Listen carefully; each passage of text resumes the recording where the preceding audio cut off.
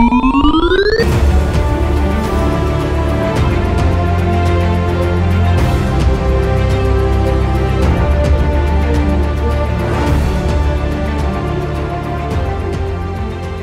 ะตอนนี้ค่ะ แอมแบกก็เข้ามาภายในบริเวณร้านไทยจินเรียบร้อยแล้วนะคะ จะบอกว่าร้านนี้นะคะ นอกจากวัตถุดิบที่เรียกว่าว้าวแล้วเนี่ยนะคะ ความพิเศษอีกหนึ่งอย่างค่ะ นั่นก็คือว่า เชฟของเราเนี่ยนะคะ ลงมือไปหาปลาเองกับมือเลยค่ะตกปลาขึ้นมาแล้วก็เอามาเสิร์ฟภายในร้านเลยค่ะ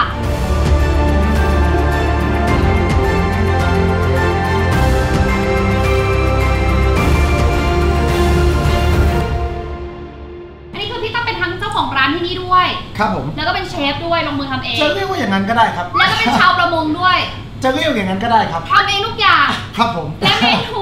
แรก ค่ะวันนี้ค่ะ มาแล้วค่ะ อันนี้เรียกว่าอะไรตัคะวนี้จะเป็นสลัดปลาดิบนะครับเรียกว่าซูบิเช่ค่ะนะครับอ่าซึ่งเป็นสไตล์สลัดสไตล์ยุโรปหรือว่าอเมริกาใต้นะครับจะเน้นค่ะมีรสชาติของพวกวินิเกรตหรือน้ำส้มสายชูค่อนข้างเยอะนะครับเป็นอืม คอร์สแรกก็จะออกแนวสดชื่นหน่อยเนื้อปลาที่ใช้ในวันนี้เนี่ยก็เป็นปลาที่เพิ่งมาจากทริปล่าสุดที่ผมไปตกปลาปลาใช่ครัอะไรคะ อันนี้เป็นปลาเก๋าแดงนะครับอ่า ครับผมเป็นปลาเก๋าแดงจากน่านน้ำกระนองนะครับผ่านการ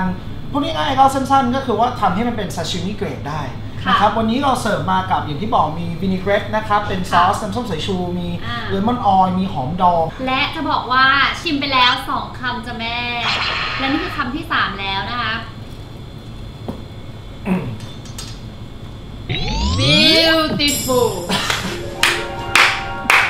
สดมากแล้วก็ไม่เหม็นคาวเลยนะคะ กับไอ้น้ำซอสที่ว่าน้ำส้มสายชู อะครับผม มันได้ความเปรี้ยวแล้วก็ความเค็มน้อยๆของปลา คือมันพอดีเลยทุกอย่าง เราว่ามันเป็นรสชาติที่คนไทยอะทานได้ อืม เราก็จะไม่รู้สึกว่าเลี่ยนเกินไป หรือว่าแบบเป็นรสชาติแบบญี่ปุ่นขนาดนั้น มันมีความแบบเป็นไทยๆด้วย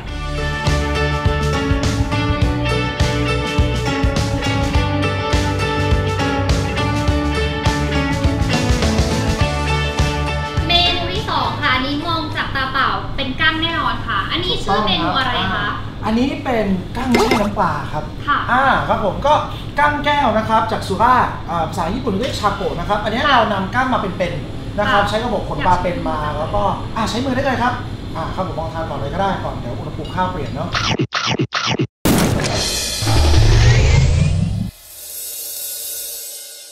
เป็นไงครับเป็นไง จะมีความหวานธรรมชาติของเขาเนาะ โอ้โห โอ้โห wonderful ก็ความใหญ่มันต้องใหญ่จริงๆพี่ต้อมเพราะว่าอร่อยมากขอบ คุณครับมันได้ความสดความหวานของตัวอืมก้างนะคะ แล้ครัวบมันเหมือนเหมือนมีความเหมือนมีเม็ดเกลืออ่าอะไรก็อย่างอยู่ในนั้น ใส่ smoke salt ไปนิดนึงครับ ตัวซอสเนี่ยเป็นอ่า smoke salt กับเป็นน้ำปลาที่แช่ถังไม้โอ๊กที่เคยแช่ซิงเกิลมอลมาก่อนก็จะมีความ smoky นิดนึงนะครับอ่าแต่ว่าไม่มีเหล้านะครับ คือค่ะเราเอาถังไม้โอ๊กที่เคยแช่ single malt มาเนี่ยเราก็ใส่น้ำปลาเข้าไป แล้วก็แรงบันดาลใจจากก้างแช่น้ำปลาเนี่ยเราเลยเปลี่ยนจากโชยุเป็นซอสน้ำปลาหวานอืมนะครับแล้วก็ top ด้วยวาซาบิดองสับนิดนึง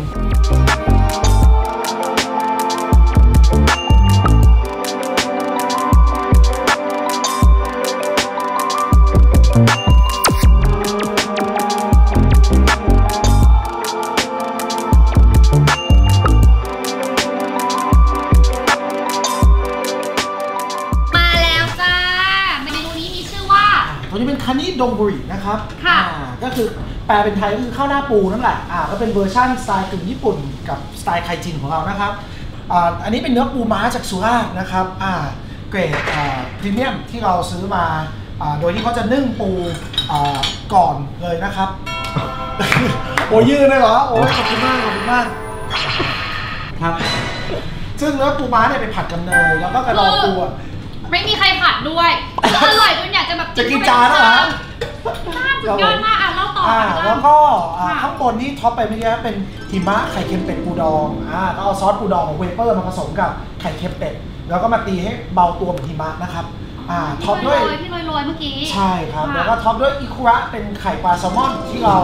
อ่าดองในซอสอ่าของเราเองก็จะเค็มและเปรี้ยวน้อยกว่าตามท้องตลาดแล้วก็มีเอนซุยอูนิอันนี้จะเป็นอูนิพันธุ์น้ำสั้นเอโซปาฟูนเกรดดีจาก ฮอกไกโดนะครับนี่อ่าค่ะในฤดูกาลนี้ครับเข้ามาไหมคะเข้ามาดิคะเข้ามาดิเข้ามาหรือยังอูนิเนี่ยโอ้โห